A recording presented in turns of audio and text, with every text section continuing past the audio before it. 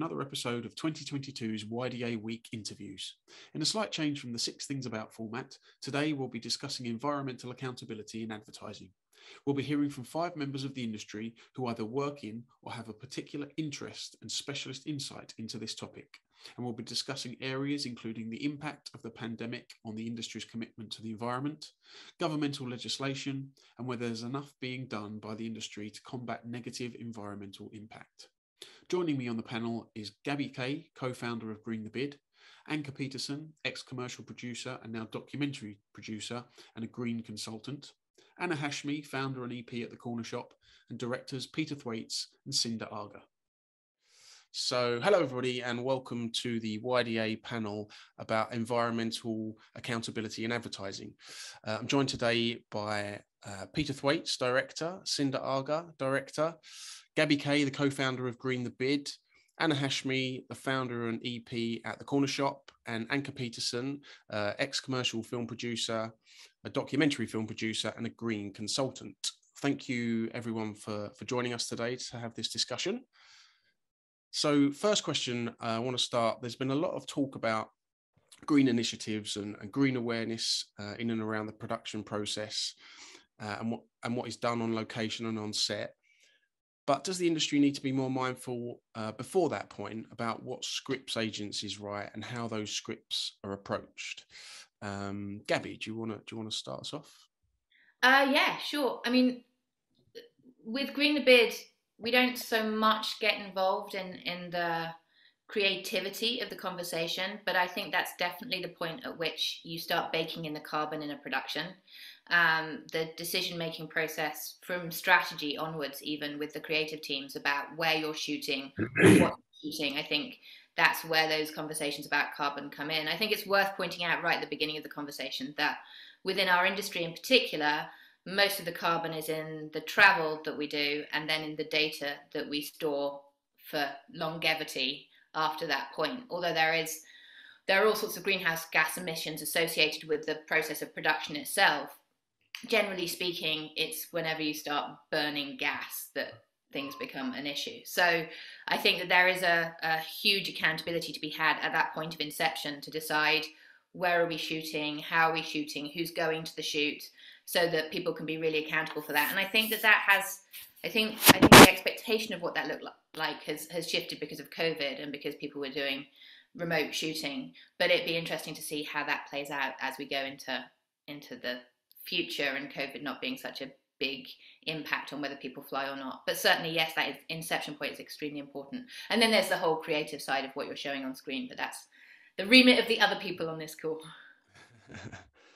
yeah, I think as as a director, I'd say that you know having further parameters with, within which we have to operate feels kind of natural and um, nothing too surprising to me. The idea that we have we, directing is operating under a series of parameters that we have to accept and then create within that, and that's what creativity is: is working within the medium or the situation you have and you know bringing it to life and to have more uh, some more levels of control or, or, or you know uh, parameters that would come into that seem uh, just a totally natural process. So I don't see that as being a um, anything to worry about from a directing point of view. All you know, I'd have more concern if there were more green controls because it just isn't true. I don't, I don't see that that would be an issue at all.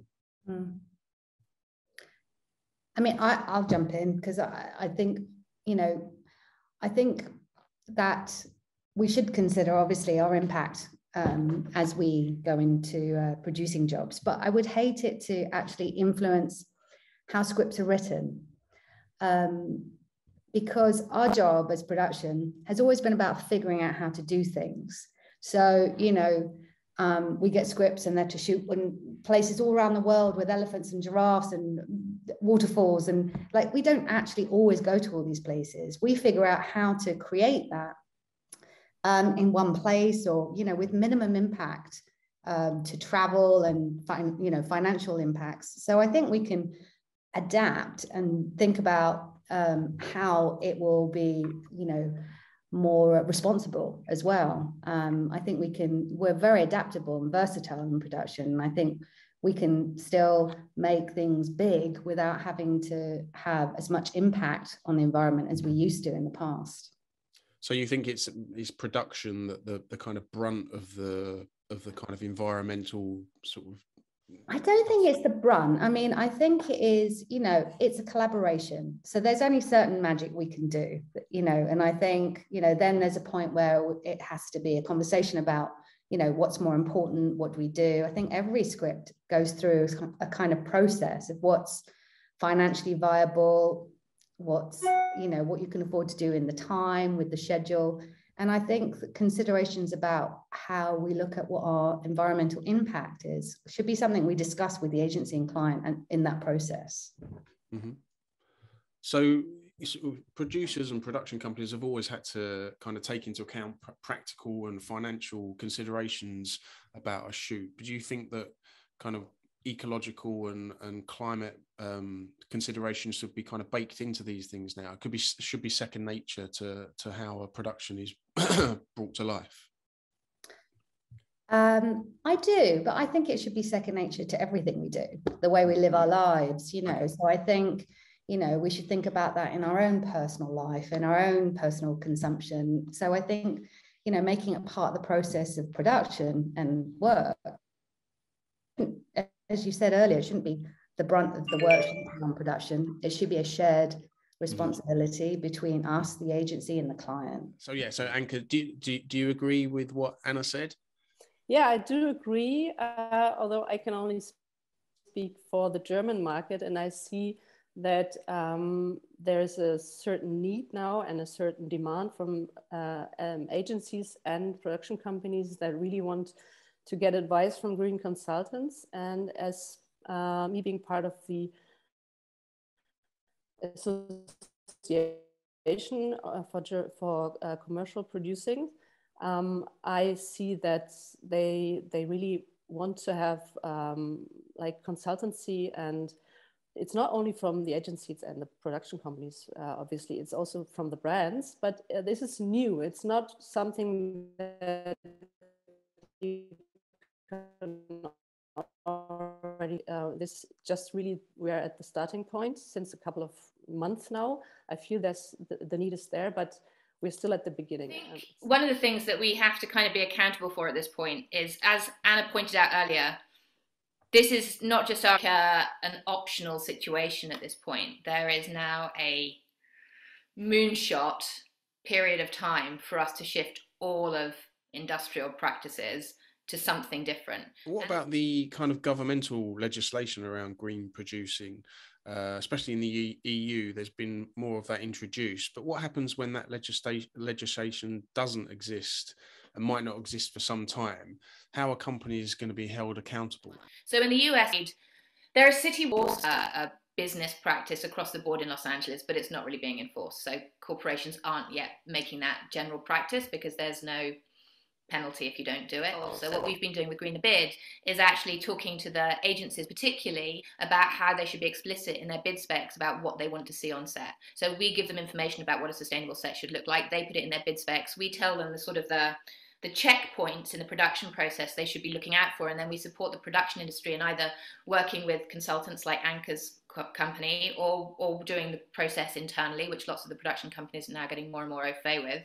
And then the level of reporting that's expected on the back end of that, so that then you have these sort of bookends where there's the expectations laid out explicitly by agency and brand at one end and the reporting given back by production at the other end and that can start the process of holding everything to account because really that's how production works anyway. It's not like there's external legislation that everyone's paying attention to all day every day with production. There are just agreed practices and processes that the industry operates within that everyone has an expectation for and is kind of educated in but we don't have it yet for this system. So it's kind of building those practices into the process as it currently exists.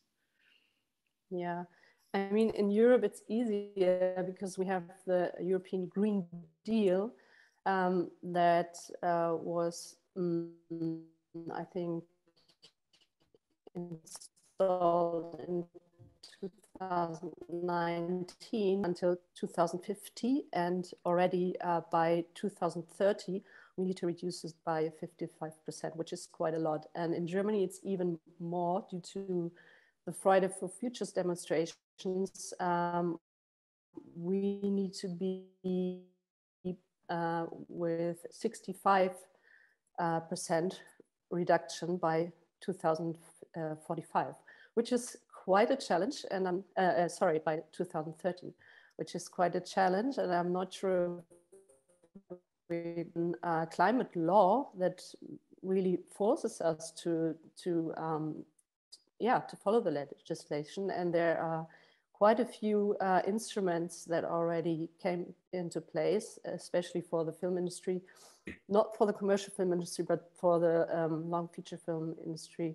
Um, uh, in Germany, at least, I don't know how it is on a European level. We have uh, the initiative called Green Motion uh, since March, and um, you have to follow certain rules there. For example, reduce um, the uh, cars that well, not reduce, but not use cars with fuel, mm, or for example, use eco uh, current, stuff like that. And um, we want to uh, take these rules that are already in place and also look into that for the commercial film industry and see if we can set up uh, some uh, well advice. You cannot say rules because it's it's not possible with brands and client uh, with brands and agencies obviously, but um, yeah, we'll try to figure out something. And we also have this um, initiative or incentive uh, called the Giraffe that we uh, gave out this year for the first time, where we really gave uh, awarded a, a, prize to a commercial film production that already um, used all these um, new possibilities that uh, are in place. Is that? I mean, is that an, another approach? I think people have talked about in the past where um, commercials there is essentially an award for the greenest commercial or you know sort of production in some way shape or form that has been green and therefore gets awarded at whatever can or those things is that is that a step that people could take or is that not the right way of approaching things do you think i think our industry loves an award so i think award if there were an award for the greenest production, then I think, um, you know, if anything to to help the agenda. Do you think that could be a viable? Is that a viable thing that you think could happen? Well, I think so because I actually think people want to feel like they're doing something to help. So I think having, you know, like having a checklist, having having a guideline, having something to, you know, I think it's something to be proud of. Winning an award for the greenest commercial, yeah, I think yeah. I think um, I think the industry would would um, embrace that. I think actually having key performance indicators that are to do with actual action taken, carbon saved, you know all of those things um, i think i think is a really valid avenue to go down for advertising yeah sure. Okay. Definitely. And uh, like over the course of the pandemic there was a lot of talk about uh, obviously there was less travel uh, for, for obvious reasons uh, but there was a lot of talk about how that people and production companies and agencies and, and everyone involved in the business would continue that after the pandemic. You know they, there was obviously a positive effect on the environment um, and that's some one of the very few benefits of the pandemic and that that would be maintained after uh, the pandemic had finished. Do, do you think that will be the case? Are, are people going to be sort of mindful of how much travel they uh, make um, once they're allowed to do so again. And now that we are allowed to do so, most of us at least, do you think that's something that will continue, or will we just go back to the kind of the old days? Sinda, do you do you have a hmm. view on that? Yeah, I mean, my commercial career pretty much started around the time the pandemic started, so it's been interesting because I don't have like a huge historic perspective on it, but in a way. One thing that I think is meaningful and should give us hope about ourselves is the way that during the pandemic, we were able to sort of culturally shift um, how we think about our collective ability to respond to a crisis and our ability to change the way we're working and living uh, to protect our health, you know, and sort of secure our uh, immediate future in the in the case of the pandemic. But I think, if anything, that should show us that this is something we are capable of on a global scale and across industries. But on the other hand, you have a lot of us out in California or Pacific Northwest experiencing wildfires, or even in Germany, you have your flooding. Um, and same in you know New York, intense storms. So I think for a lot of us, it is it does feel quite on our doorstep and quite immediate. And um, we need to normalize creating that that sort of culture shift. There's always been like an emphasis on the individual carbon footprint when it comes to climate change, but that you know that was a metric invented by British Petroleum to sort of deflect the systemic responsibility um, of reacting to climate change as an entire industry and pin it on the consumer.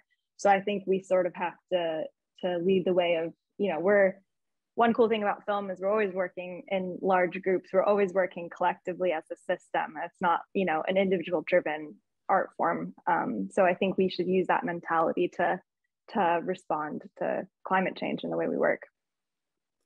Peter how about you? Do you think that um, travel is something that will be sort of given more consideration after post pandemic uh, after all the discussion? I think i absolutely think so for sure. Um, I, I can't see us going back to what we used to be doing when it was all a bit of a jolly and everyone jumps on the plane and heads off and 15 clients come because they haven't been out in the office for a year and they all come for a jolly. I, I don't see that as coming back. I mean, it may come back in places, but I, I think we've learned a massive lesson coming out of the pandemic. Um, I did a job where I was directing from the office and I didn't travel to Vancouver, you know, and that was weird, but it worked.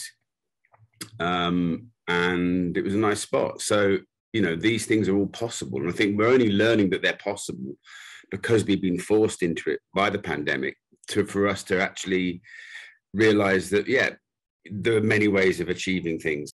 Um, how do you think you strike the right balance then between having the right people on set and having too many people on set? I, I think this is another skill that we've all sharpened in the pandemic is thinking about how to boil down our processes to the most essential form.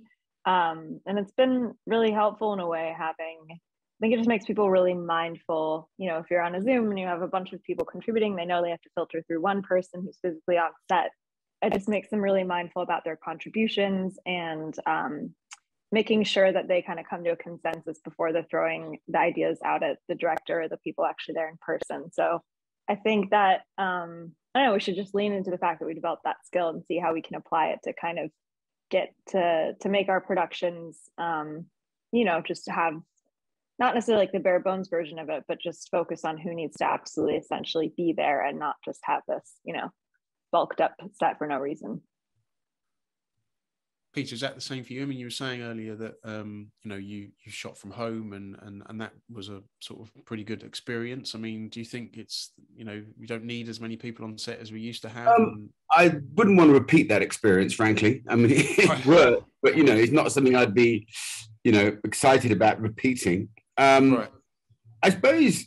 I mean, just from my point of view, it seems that isn't there an isn't it isn't it a self controlling element as in we don't tend to have people we don't need really i mean because we have to pay for them to be there so isn't it a, partly a financial balancing act that happens naturally um, uh, obviously there's employment and th- those issues of not employing people but I, my gut feeling is uh, you know there's we have a certain amount of time to get through a certain amount of stuff. And we you know we, we have the people there to f- facilitate that. And obviously if there's people who are unnecessary to that process then we shouldn't have them there. But i don't tend to think well I might be being naive, so production can tell me if I'm talking non- nonsense here, but it would seem I'm always happy to tell Peter when he's talking nonsense. I mean, yeah, indeed. There's a, there's a, you know, that I think you're very much talking about it from your own perspective as a director and and the crew that you have around you. Yeah. I think I think looking at the bigger picture of of like the amount of agency and clients that go on set, or even executives from a, oh, from oh, yeah. a production company, you know, I think I think we we've all learned that actually what is the you know also the best use of our time? Is it really with traveling all the way there and being on set and being useful for you know a, a small portion of of the work that's needed? Or um, you know now we have the ability to be able to view the shoot online which means that we can be a lot more productive um, with our time as well as having less of an impact on the environment i do think it is crucial though however that you know we do have representation from the agency on a production and creative level on set because the things that happen while you're shooting and the conversations you need to have sometimes decisions need to be made in real time. And when you're trying to uh, relate that and communicate that to people on zoom it can be really difficult. And so some it's really useful to have agency you know the essential agency and uh, creative or client people that can make those final decisions um, but i i think you know there is there is um, definitely a consideration for everyone to think about what is best for the production and what is the best use of everyone's time. That will also have less of an impact on the environment. But often I've spoken to a few people over the last couple of years who sort of say that travel uh, is one of the perks of the job to a large degree, especially from an agency's perspective. That you know, being able to to kind of travel around, shoot abroad, you know the kind of cliche of you know, the script opening you know we open on a beach in the bahamas sort of thing uh, you know is that and their worry was that that perk will mean that there's less incentive for people to sort of you know good young creative people to come into advertising as a job is that is that just over is that sort of not really something we should be considering that travel is something that kind of attracts talent to this industry I mean, it seemed to me like the wrong reason to be attracted to the industry, just the wrong reason, isn't it? I mean, if I heard about someone, uh, there's this new days new creatives that have come in because they love travel, I wouldn't be that impressed. So, you know, it didn't seem like a good reason, put it that way. Mm-hmm. I, I, think it's a really interesting question because I think um, there's there's a lot of jobs that people have had in the last 20 years where those perks exist, those kinds of perks. And in the removing of those perks, I don't think our industry is one of them actually. I think if you remove the flying from our industry, it's still full of massive incentives, including actually being paid a living wage to do something creative, which is, I think, a privilege for most people is to be paid a living wage to, to, to do something creative and fun for a career. But I do think we do need to, in, in order to adjust our behaviors in terms of what's required to be responsible for the climate crisis, coming back to accountability in our industry, we do need to contextualize what we're doing in the greater scheme of what's happening in the environment around us. So, yes, if everything in the world worked perfectly and we were all happy and there was an egalitarian society globally where there was no one who was bearing the brunt of what's going on right now and what we've got baked into what's coming in the future, then fine, everyone fly everywhere and it's fine. But that's not what we're looking at. That's really not the context we're operating in. I'd love Cindy to speak to this more because I feel like this is getting into the more of the creative side of the conversation. But the truth of the yeah. matter is that our behavior, our jollies, are the things that we see as perks, they are baking in really unacceptable outcomes for larger and larger percentages of the global population. And I don't think it's comfortable to look at yourself in that context. Sinda, do you want to hmm. talk to that? Yeah, I mean, I think that on a larger scale, economically, from what I understand, um, is that part of the reason why, as we're phasing back into business as usual um, after the first couple years of pandemic, part of the reason why it's been hard to attract workers back into the office um, or back into their conventional jobs is that people sort of had a taste of, of what it's like to orient their lives around other parts of their identity outside of work. And I think, at least with my generation and younger um, creatives, we are really increasingly drawn to um, careers that are rooted in a sense of meaning and purpose and value outside of just, uh, it's just so much, I think, for us, at least in my peer group, we're, we're really thinking about what projects we take on in terms of how they align with our values or if they yeah if they give us a sense of meaning and a lot less about just money and perks like traveling and things like that. So i think